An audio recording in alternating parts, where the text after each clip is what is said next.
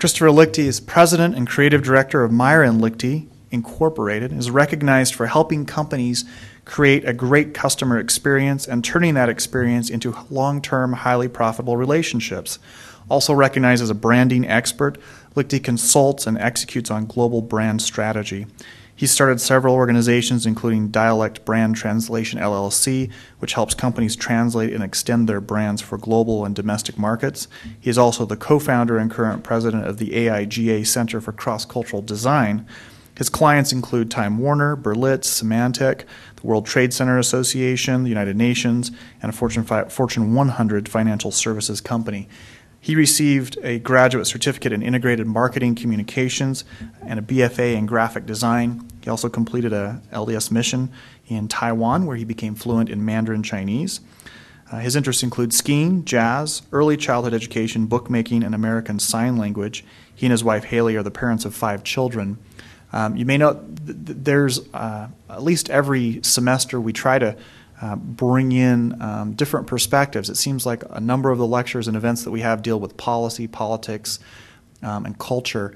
Um, the Kennedy Center has a long history in interest in cross cultural issues as creators of culturegrams. Um, we uh, are very interested in, in publications and print uh, and online media.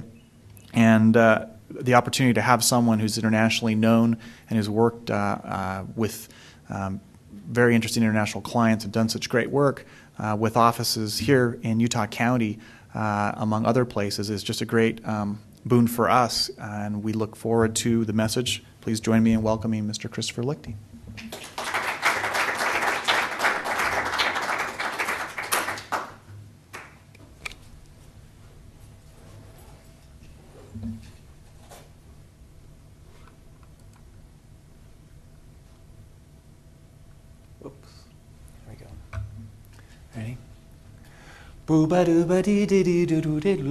I didn't know what time it was when I met you. Oh, what a lovely time it was, how sublime it was, too. I didn't know what day it was, life was no prize. I wanted love, and here it was, shining out of your eyes, oh, eyes. And I know what time it is now. Boom, boom, boom, boom. Ba do ba do do do do do. De do da do ba do do do do do. Ba do ba do do do ba do. Ba ba do ba do dee. Ba ba dee. Boo ba do dee dee da do do. Doom doom doom. Ba do ba do do do ba do. Ba da da do do do. Ba ba do do do ba do bum ba do ba do do da do ba do ba do.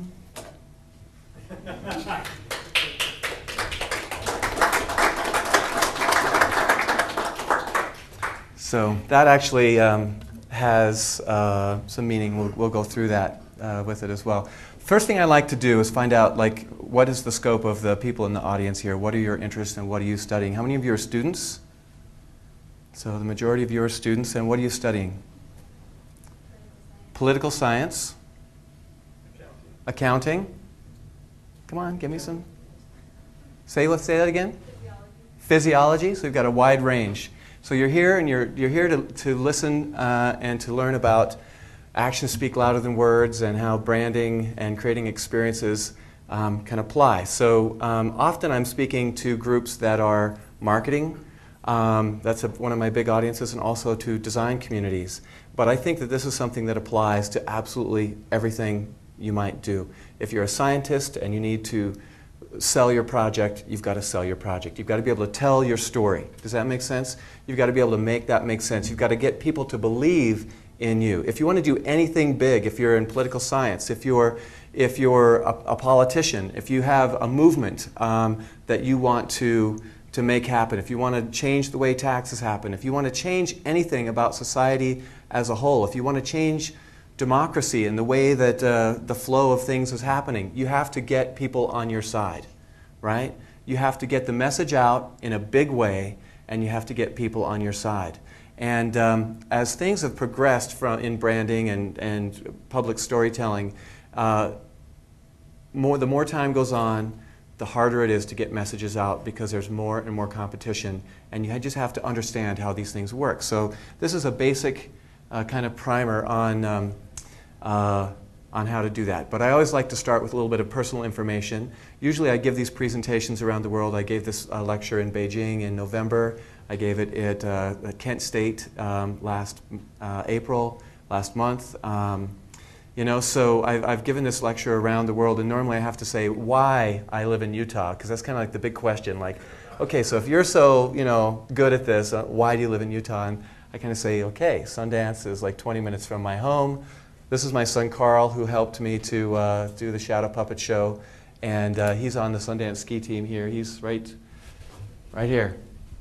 And uh, so my kids are, are, we go up and we ski every Saturday, and just a little, you guys know this. This is my backyard. We have an acre and a quarter farm with llamas and uh, rabbits and ducks and other things. So, um, you know, when, when you, just these two slides and everyone says, okay, Utah, non, non-question anymore. I understand. Uh, the world is flat, you can work from anywhere, and I understand why you live in Utah. So, um, more about that.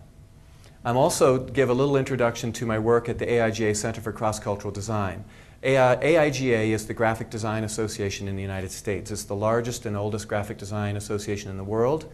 And um, several years ago when I got involved with them um, uh, through the local chapter here in Salt Lake City, I realized that on a national level there was no international component.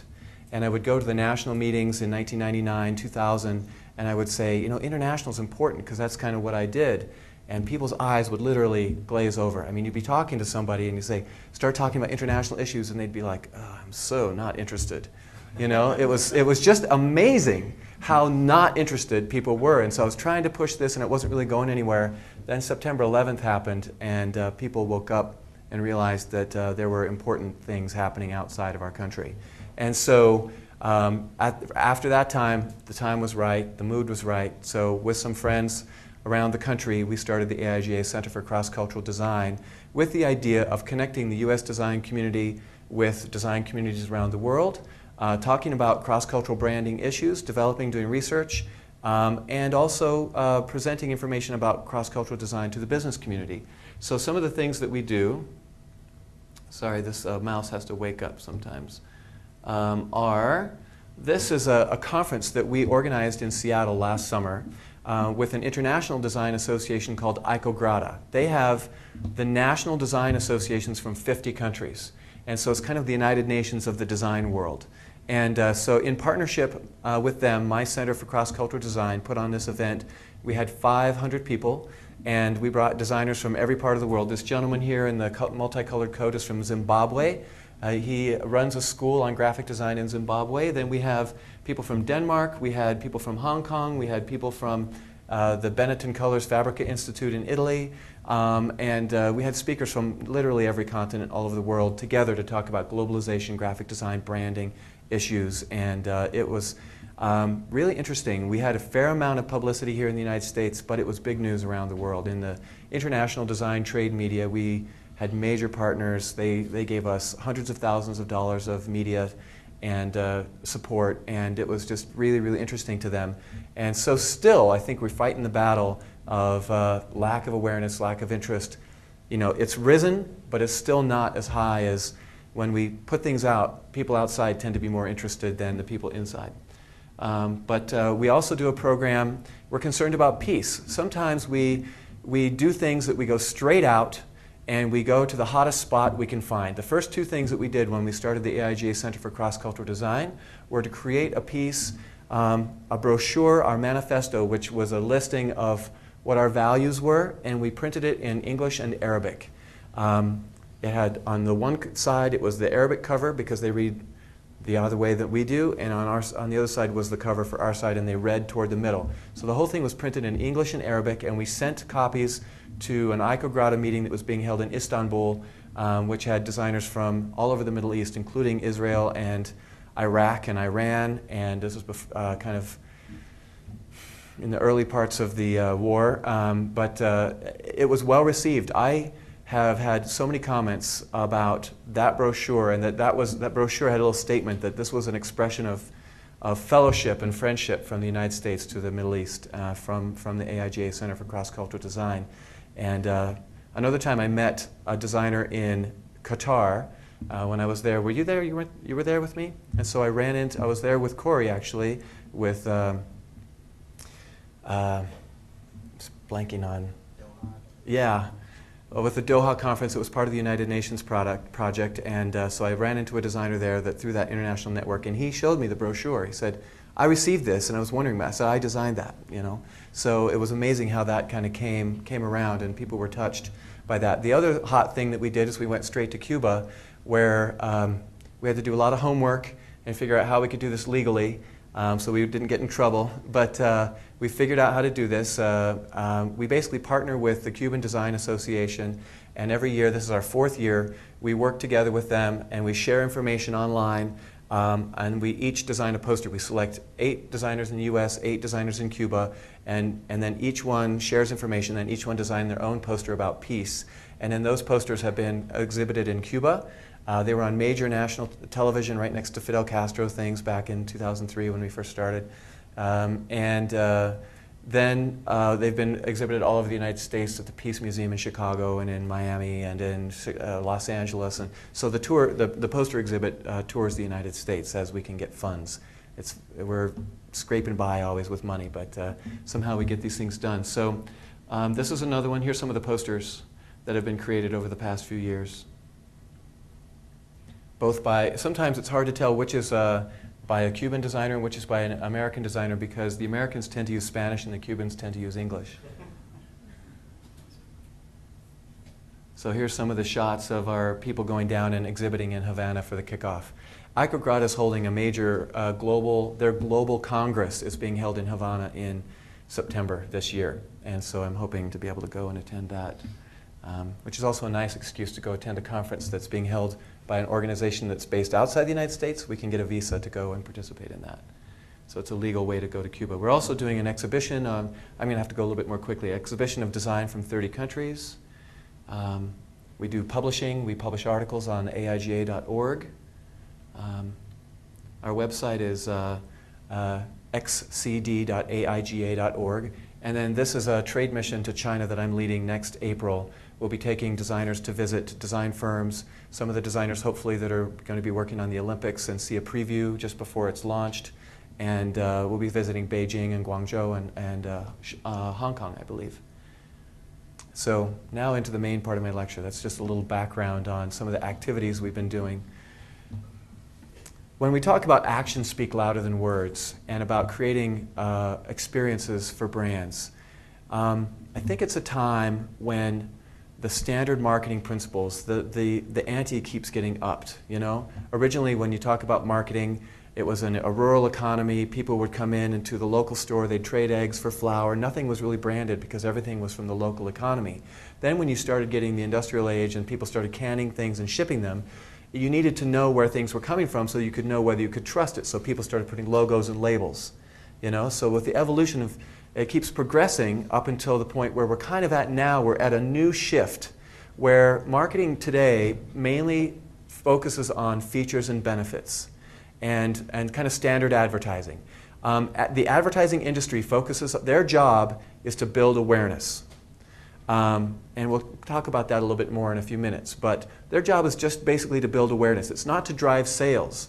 It doesn't take people all the way through. It's just to build awareness about a product. So it's kind of like icon equals awareness equals we're going to increase sales somehow. We don't know how.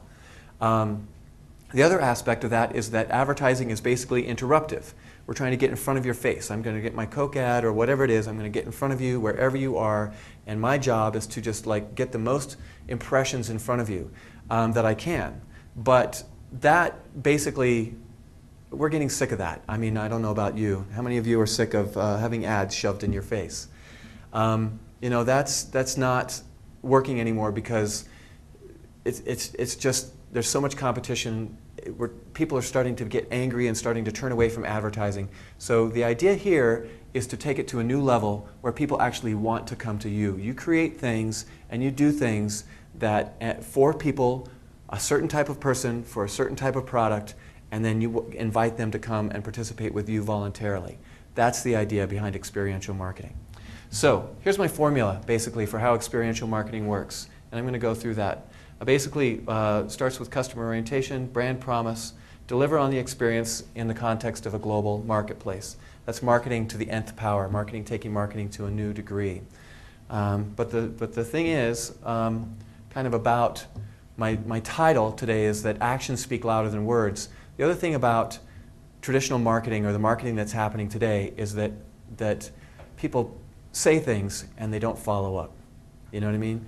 Your cell phone company says, We care about you as a customer. And then when you call to make a change, do they really care about you? Do you really believe that? How about cable when you call to cancel? You know? Do they really care about you? Are you a valued customer? Not really. So that's the kind of thing we're trying to get away from. So the first principle here is that the customer needs and the company needs need to be balanced. This is kind of based on Terry Warner's work. That he's a professor here in philosophy, and he has the Arbinger Institute has put out a book called Leadership and Self-Deception. If you wanted to go further in depth about this idea, Terry Warner's work would be a good way to study study that um, in interpersonal relationships, in governmental relationships, in branding. I think it applies here as well. The idea is that are the customer's needs really equal to your own? Or are your needs for profit higher in your mind than the needs for customers? I think that uh, with a cable company, when you call up and they treat you poorly and they take you through the runaround and they, uh, they do every trick they possibly can to keep you on, um, I think then in that kind of a case, your needs are not equal to theirs. They're willing to do whatever it takes to keep you on as a customer, and it's not equal. And so that's the kind of thing that um, I have a hard time conveying to companies. I don't know how really to, to tell this message greater than that. Um, the other thing is about research. And the reason I put this up here is because the, the statistical based research that was happening at the last days of this campaign um, are really telling. Most marketing companies do research in the traditional survey fashion. They write a survey, they get an audience, they conduct the survey, they analyze, then they wait for a long time. So it might happen between uh, you know, once a year, once every two years, once every three years that they're gathering information in this way. But this kind of research is excellent, but also flawed in that you can only ask what you know to ask. Does that make sense? You can only write a survey, you can only write the questions that you know you need to ask. What about the ones you don't know about? This campaign is an example of that. When it was coming down to the final weeks, they were surveying people about what do you like about Kerry, what do you like about Bush, what are your feelings, what, you know, what, va- what values do you have, what do you care about. But the other category started growing into like 30% range. It was like people were saying, I care about, mm, not on my list here, I don't see it here, other. Huge. So they weren't asking about the one thing that people were really caring about, and that was about values. They weren't even asking about that, and that was the thing that swayed the election toward Bush at the time. So, how should you do research? Basically, marketers are beginning to do research like anthropologists have. Go out, you sit down, talk to people, you observe, you watch, you listen. It's not statistically valid because the, the, uh, the, the groups are often very small, but it's a way to learn what you don't know. Does that make sense? As you're designing and you're creating brands, it's a way to get a rich type of information. It's a way to learn the emotion, to the feeling behind the numbers. And then you go and you do a survey to validate the information that you learned here. Does that make sense?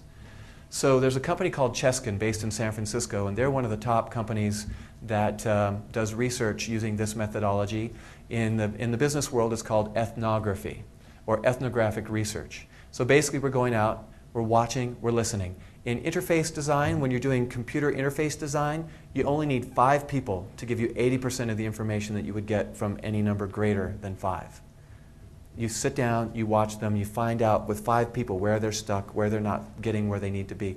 With interviews, I understand that you only need to interview 37 people to get the number of uh, the 80% of the information that you will get with a greater number of people. Does that make sense? So then you, you do those interviews, you go out, you observe. It doesn't have to be a high cost thing. It can be if you're doing any project and you're trying to understand what your audience, like you're a scientist, you're trying to, to push a new technology, um, then you want to see how people respond to it. You go out and you test it with people. You go out and you give it a try. You see how it's being received. You can learn about it in that kind of a way. So it doesn't have to be a high cost kind of a method of research. Or you can hire these guys and spend several hundred thousand dollars um, in having them research for you all around the world. Um, this is an example of research that was done on women in China. So they sent someone over there to interview women, to talk to them, to find out what is the condition of women, what is their mindset, how do we market to women in China. And so this woman down here is on a cell phone riding her bike. There's kind of a youth culture thing. There's this culture of cute going on, you know. So there's, there's, these are just a few photographs of that. Um, just a, a little background on ethnographic research. There's this woman named Sarah Little Turnbull. And she, uh, in the 1940s, was the editor of House Beautiful magazine. As part of her job, she would go out and she would visit 300 homes a year. She's responsible for the fact that we have family rooms instead of formal living rooms now. Because she saw this trend kind of emerging, and then she published about it in House Beautiful magazine, and everyone picked up on it, shifted the whole culture of our country um, and the way we designed our houses. She, um, just last year, uh, retired from this lab at uh, Stanford University called the Process of Change Innovation and Design Laboratory. And she's been a consultant to CEOs. I went and visited her the last week before she dismantled her lab. Very interesting. Um, JetBlue, I know that David Neeleman is, he, he's out of there now, right? but uh, I met him on a flight uh, early on in the JetBlue days. He was taking a flight once a week and he spent the entire flight from New York's JFK to Salt Lake City, starting at the front of the plane, going down the plane, talking to people. It took him the whole three plus four hours talking to people. And when I got a chance to talk to him, he was very nice, listened, very concerned about, you know, he's just talking to people. He told me he took a flight once a week somewhere. And soon after that, he made a change to increase the legroom in between the seats. And the stock took a dip because investors were thinking, hey, we're going to have fewer people on this. This is a dumb decision but he really knew what, was, what he was doing and was making a good decision for the long term and respect of the customer. Um, other things about customer orientation are the 80 20 rule, and that is that generally in any business, you can analyze the situation, analyze the, the, uh, the books, and find out that 80% of your profits come from 20% of your customers. In most cases, that happens. The 80 20 rule kind of applies in a lot of ways. So, if you can do that kind of analysis and find out who your 20% most valuable customers are, you can change the way you do marketing and you can understand that. It's kind of like playing cards and having the backs of the cards facing you. You're looking at all these cards, but they all have the same value. Most people do marketing like that. Does that make sense? So basically, you, uh, you're playing with the cards you don't know how to use the cards because they all have the same value. But if you can turn them over and see what the value is, you can make better decisions. Basically, this is one method of understanding your customers that will help you make better decisions in doing your marketing. So basically, in experiential marketing, understanding your customer, being out listening, this is like the key thing that you need to do. And, uh, and if you have a large organization, it's very difficult to change habits. So now I'm going to switch to the second element, which is uh, brand promise. In the past, we've uh, used mission statements and vision statements that have been very long and detailed. My concept for any type of organization that wants to get a message out um, is to ditch the old type of mission statement and go with a new type of mission statement. Basically, the new type of mission statement is, is one promise, one statement that encapsulates your organization entirely. Something that people can remember, both inside your organization and out. This is what this diagram is about. It's a brand promise that can be used by your organization so that everyone can align themselves and remember. Otherwise, your mission statement, you put it out there, people file it, and they don't use it again. Except if they have to like refer to it. They come back and they dig it out and say, oh, let's see, um, oh yeah, that's what the mission statement says. But if you have a mission statement that people can like quote off the top of their head, then you can help align people better and get people moving in a direction. You can also get your customers aligned around you and, and they can be clear about what your brand means. So, one brand promise that works both internally and externally as the basis of your, uh, your marketing. This also comes back to the actions speak louder than words promise that I, that I mentioned in my title, which is if you can align your organization with your marketing, then you can actually do what you say as opposed to marketing one thing and doing something entirely different, which is what generally happens. So, brand promise has to be relevant, meaning that it has to be a brand promise that has to do with who you are as a company. It can't be a brand promise that's just some pie in the sky, I don't know how to live this, has nothing to do with who we are and what our products are. So it has to be relevant. Has to be relevant to your customers as well. Also has to be credible, which means that your customers have to be able to give you permission to take that space.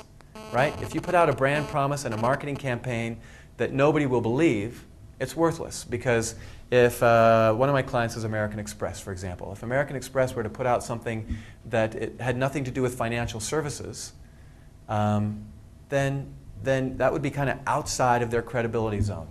Uh, people would have a hard time giving them permission to do that work. Or if Time Warner, uh, another client, were to try to get into the American Express space, it would be hard for people to accept that. Does that make sense? So um, I know they have uh, Forbes magazine and, and other things that are in the financial area, but still, as a corporation, uh, you know, take, trying to take over a, a, different space is something hard. So, as an example, um, I'm going to give you a couple examples. Here is a, um, a brand promise from the UVSC School of Business. We've been working with them over the last year and a half to help them to create a mission statement for the School of Business that represents who they are, that people will give them permission to do, and will be something that's credible and relevant to them. So we've come up with this brand promise called Fuel the Entrepreneurial Spirit. So it's not we're all about entrepreneurship. Everybody who comes through our school needs to become an entrepreneur.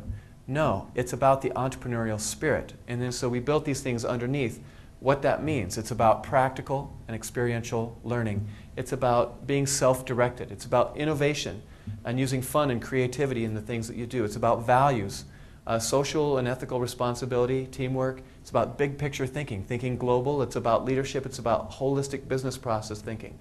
So basically, um, I think this is credible for them because they are an institution that can kind of, in terms of like universities, turn on a dime. It's still pretty slow in business world, but in terms of the university world, they really are responsive. They've had programs that deal with multi-level marketing, network marketing.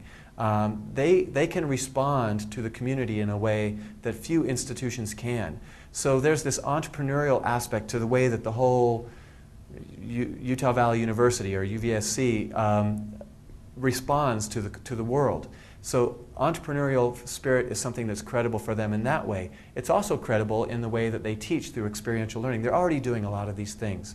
So um, fuel the entrepreneurial spirit is something that we want the professors to use in the way that they teach their courses. We, they're going to potentially do things like have ropes courses and other kind of experiential learning. They are also already doing um, uh, experiential learning by having real projects come in from the outside so they have their students working on real things you know so there are ways in which they're very entrepreneurial in the way that they go about doing their work um, the next one is uh, this is an industrial manufacturer in the Midwest.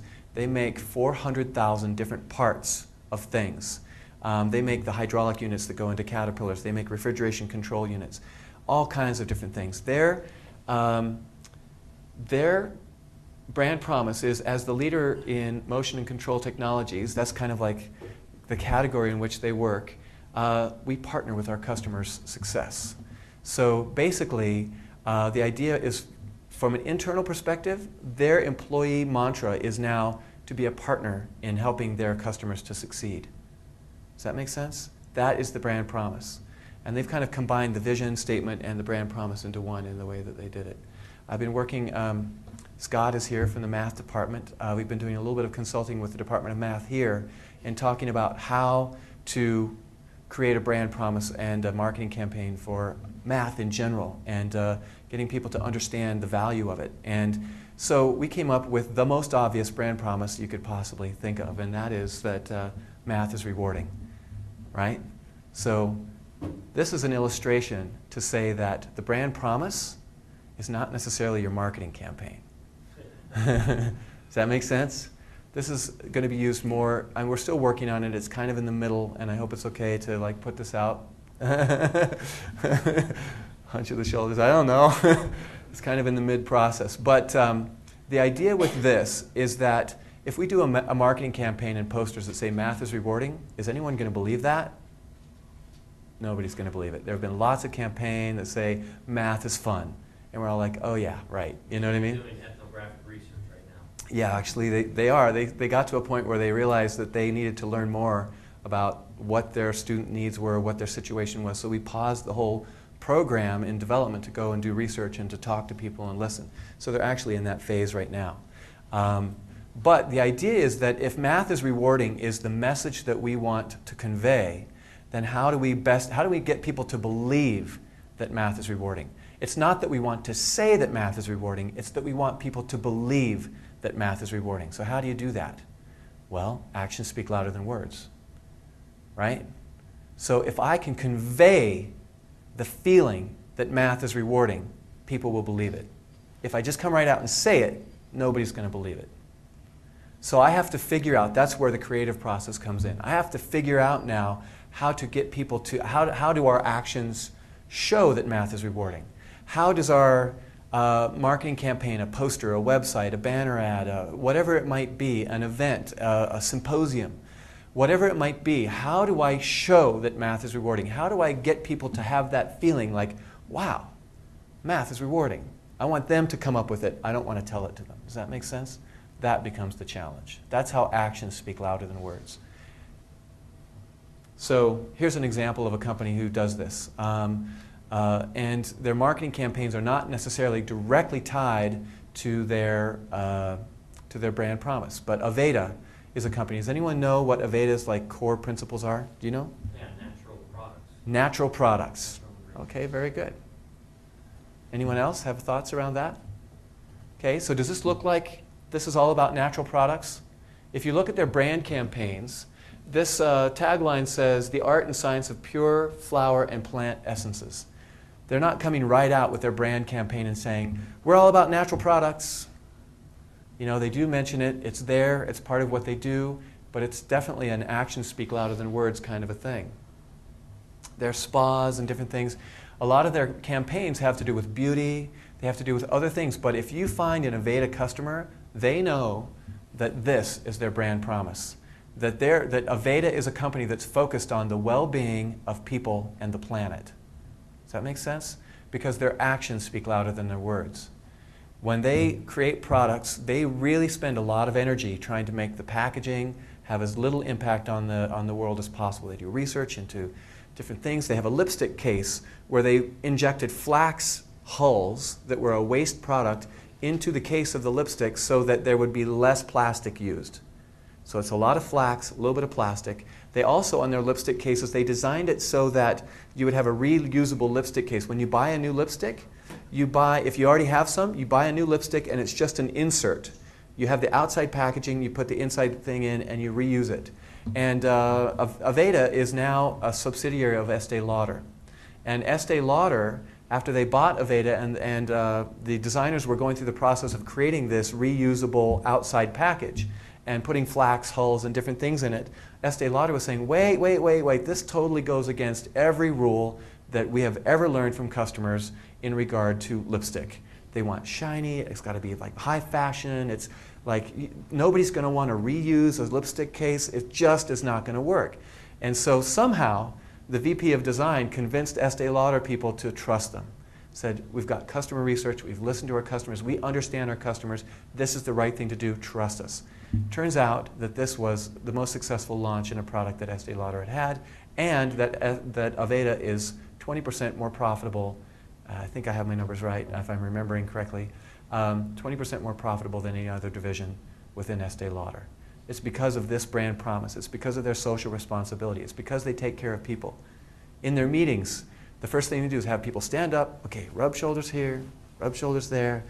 Everyone take some breaths. Okay, let's make sure we're all not, stress is kind of out here. Now we're going to have our meeting. Does that make sense?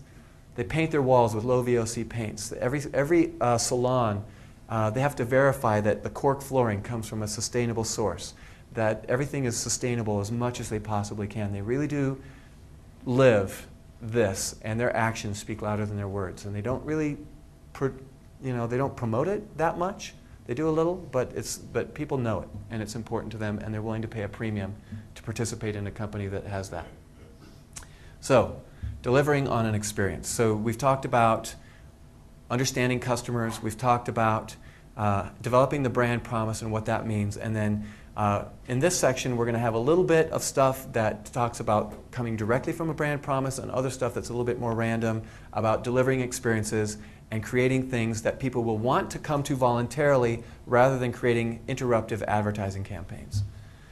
So basically, um, some work we did uh, with American Express. This was just a, uh, uh, a proposal, so it wasn't put into to place. But the idea was to create a points program for American Express that would appeal to investors. So we created this whole points program where you could invest your points. And so you invest your points in stocks, bonds, and they actually the performance of the points mirrors the actual marketplace. And then you could take the points and you can give them to charity. You can take the points and you can give them to your child and let them manage the portfolio. You can take your points out as cash. You have a lot of choices, just like an investor does with, with the investor's money. You have choices with these points in a similar kind of a way. So the idea is to create something that's so in sync with the mindset of the user that it's just delightful to, to participate. It's just so much fun. Why would they go anywhere else? Does that make sense? This one with Neiman Marcus. Um, Neiman Marcus is the first company to ever use a points program in relation to a card, and they've been doing it for uh, 20, 30 years. And um, so we had nothing to contribute to that, but what we had to contribute was how do we promote a, a card that's co-branded with a Neiman Marcus and American Express. The idea was that we would hide things throughout the store. So if you're shopping in Neiman Marcus and you pick up a wallet, you open it up, and you think, there's a credit card in here. You take it out, and it's a little promotion for the credit card joint program with American Express and Neiman Marcus. You know, so maybe there's one in the in the perfume section about the sweet smell of the rewards that you can get. And so we use this experience. So it's almost like an Easter egg hunt, and it changes all the time. So every time you come back, you're like wondering where the next thing is going to be hidden. Does that make sense? Little experiential things that, that people talk about, and some card designs that we proposed, and a little bit about the brand. Other things that you can do have to do with technology. So we work with a company in New York called Brand Experience Lab, and they also, and also this uh, other company, Gregory Beck Architects. And so uh, Brand Experience Lab is out there searching for the latest, coolest technologies. So this is another way to create things that are like people haven't ever seen before, so they want to participate, they want to tell their friends about. So it creates word of mouth advertising for you. So some of the examples are that this one up in the upper left hand corner, from your perspective, is uh, is a ground effects uh, kind of technology where it projects on the ground and then you can interact with it. It reads your shadow and then the image moves based on the shadow. So it might be it might be a flurry of things like leaves, or in one case it was a series of balls that you move your hand over and the balls start bouncing around. And if you push harder, the, the balls bounce harder. Does that make sense? Kind of a cool thing. Um, this one down here for AOL is actually a, a, a three-dimensional surface that is a video monitor. It uses LED lights that can be mounted in a, in a, in a way that uh, on a curve or on a spherical shape it has motion. Does that make sense? Uh, this is the CNN Experience Center, which I just uh, visited last week and noticed that they closed down. So obviously that particular example was not successful. so I, I, don't know the details behind that, but I tried to go visit it uh, just two days ago and it wasn't successful. This one over here is a laser speaker that you can put sound out in a, in a very directed fashion. If you're just off to the side, you can't hear it. So it's something that you might do in a retail setting when you want people to walk by and hear. Um, and this one down here is like enormous 12 foot tall uh, monitors and things like that. Um, another interesting idea is that Illy Coffee Company, uh, they put up a pop-up retail store in Soho, New York. Um, this thing, we were analyzing it from the outside. I went with Greg Beck, architect, and we were looking at it and thinking, he's saying, that's at least $2 million in build out for a two month installation. Why would Illy spend $2 million to open a store for two months in Soho? Anybody have any ideas? I'll repeat it so that it'll, it'll show up in the podcast. Any ideas why they would spend $2 million? Carl? Uh, so, people would know what it was. so people would know what it was. Okay, so if I'm Illy and I'm launching, what, the, what they were doing is they were launching their coffee makers into the consumer space. They're very well established in the coffee shops. A lot of coffee shops use it for espresso and all those kinds of things. But they want to launch into the consumer space. They have some choices. The traditional way is to buy several million dollars worth of media. I can buy lots of ads, I can buy television, I can buy this, I can buy that. And how much is it going to get me? How much are people listening and paying attention to these ads if I'm trying to interrupt them. Right? One percent, two percent. Yeah, 1, 2%, very, very low. Uh, again, people are turning away from ads. Right? People are not, they're just not as effective. Maybe they've never been effective. You know what I mean? But especially in this day and age, they're not very effective. So if I spend $5 million in advertising, I may not get as much as I get from this $2 million in creating a pop up retail store. So what happens is that I create this store, and it's so audacious to create a store and spend that much money on it that the media then wants to talk about it. Does that make sense? So you get lots of free media, which is more credible than paid media. And people come and they start spreading word of mouth. People who are coffee aficionados, uh, who are traveling in kind of a hot place where there's a lot of tourists, a lot of people coming through doing business, they tell each other saying, man, you've got to go to this place. You can have some coffee, sit down, there's really beautiful art, you can watch some films. You know what I mean? The experience is such that people want to tell their friends and then people come to. So it becomes a, a, a you know, you get more with honey than with vinegar. People want, they're attracted to it. They want to come and participate it. And there's word of mouth. Even if you don't ever see it, you heard about it and then maybe you come across it in the media.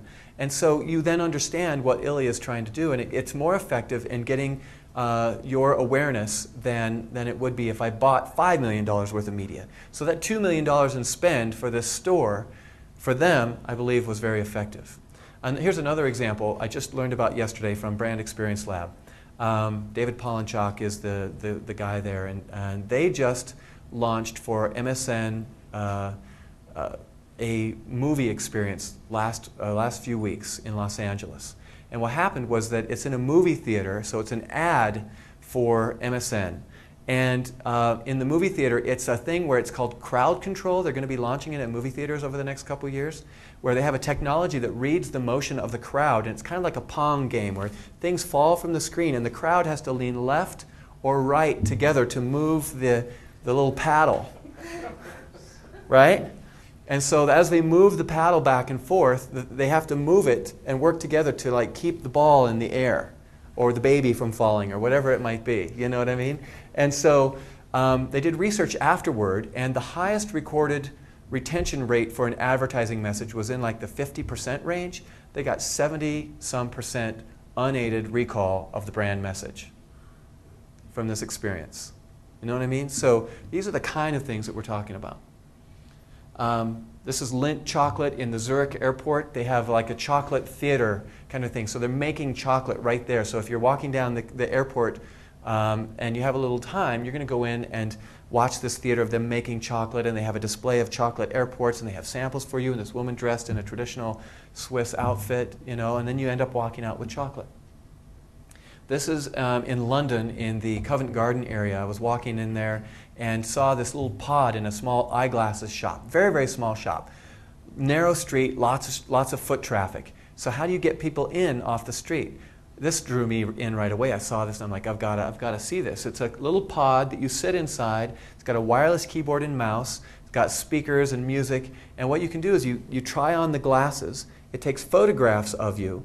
And then um, you can put on your real glasses to see what you look like. Because if you're trying on frames, they don't have your lenses, right? How do you see what you look like? So, so you try on your glasses, it takes photographs, and then you can come back and see what the frames look like, like, like, like up here. Um, this was, I, I, Carl and I saw this in uh, the Burton demo tour in Park City when Carl was at a ski race this winter. So Burton, in doing a, a tour, they wanted to do this program, but instead of just doing it themselves, they got all these partners to come with them. So they have Motorola, Volvo, Wii, Snickers, Paul Mitchell, uh, red, and uh, you've also got the Burton things. And so basically, they brought these kind of igloo shaped things and, and they did this tour of all the ski resorts in the western United States. It was so much fun. Here it is, kind of from the far away, what attracts you to go see it. And close up, they have uh, the Volvo. They had this game. So if you sign up and give them your name and number, you're 18 years old, and you give them your address so they can do marketing messages to you, they give you, they like spin the wheel, and whatever it lands on, they give you. So um, we got a little video game, um, and other people got socks, other people got a chance to win a car. Um, this was a really cool thing, and it was really fun, and I was totally willing to give them my information to participate in this. However, they didn't follow up very well. The letter that came was just totally a generic sales letter. I had had an experience with them.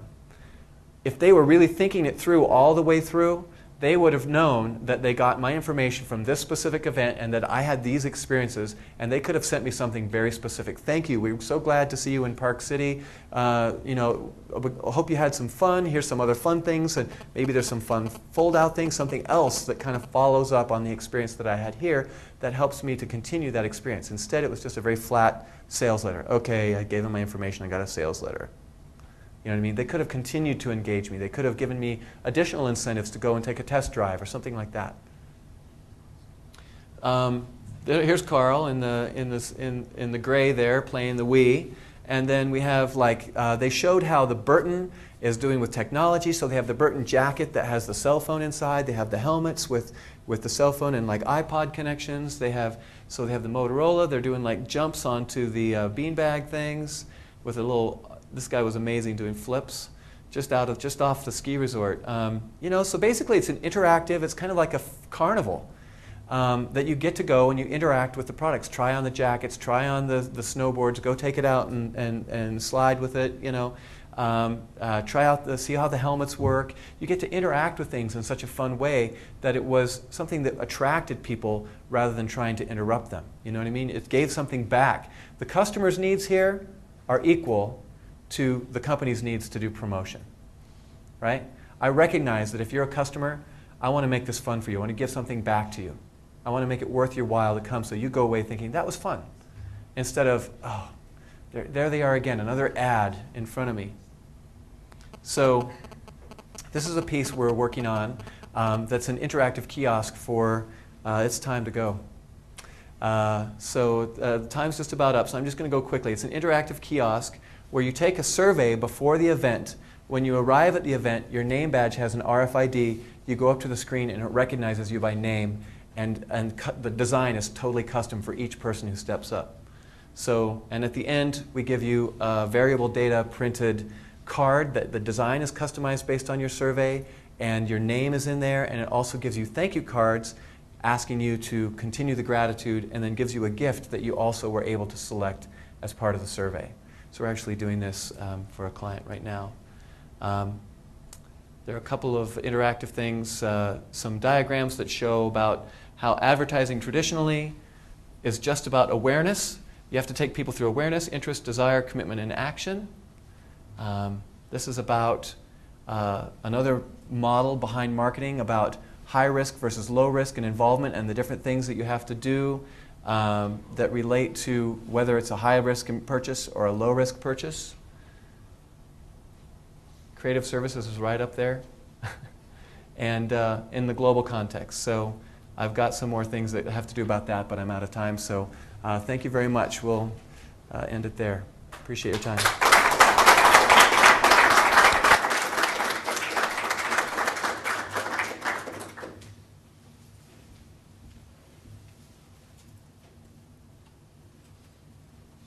Take any questions? I mean, we have, people have to leave for class, feel free to, but there might be a few questions we have before we take a break. Yes. Dow, we need the microphone now. In the example that you used where they didn't follow through properly, yes. would you ever take the initiative to contact them and say, I happen to be in this business? Um, I well, would like to give you input on, on what you did um, okay, and you know, you maybe I'll do? blog about it and they'll read about it and contact me. uh, no, that's not the way that you sell my kind of. If I'm calling them, my credibility is really low. So uh, no. no, I'm not calling them, but just like giving them feedback that I had this experience, loved it, but your follow through. I, I, I used to do that. I've not just not found it's effective. So no, I don't do that. Yes. What's the value of? Wait. Uh, what's the value of word of mouth um, branding. Yeah. Monetized value? Yeah, what's the value, especially with today's uh, technology in terms of blogging? Because that's changing things, isn't it? It is, absolutely. Um, I'm, I don't have numbers off the top of my head as to what the monetary value of um, word of mouth is compared to paid media, for example. But I think that people are recognizing there's an association called the Word of Mouth Marketing Association. So they might be kind of putting out that kind of information, doing some estimates. Um, for me, it's about credibility, it's about the quality of the contact, It's about um, the difference between you see an ad in a magazine that you flip right by, and um, my, my cell phone must be going off over there by the microphone. it's, um, it's about, I think it's, it's much greater value because what, what I'm concerned about is one thing is the lifetime value of the customer. I'm also interested in the, um, the quality of the contact I'm interested in the, the long term relationship with that customer. Does that make sense? And I feel like word of mouth has so much more credibility than any advertising that I could buy. Does that make sense? So I'm really, I, I, am not discounting that you don't need other kind of advertising still, but I think that, uh, that the value is very high.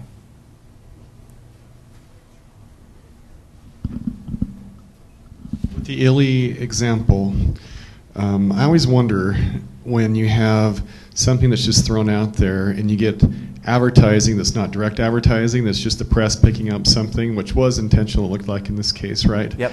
Um, does the company or a company like that have a marketing plan? They, they have individuals that go out and try and hit up the press to say, hey, you know, have you guys Yeah. seen this and how, you know, weird it is or whatever it may be so they can get that, you know, negative slash positive advertising? Absolutely.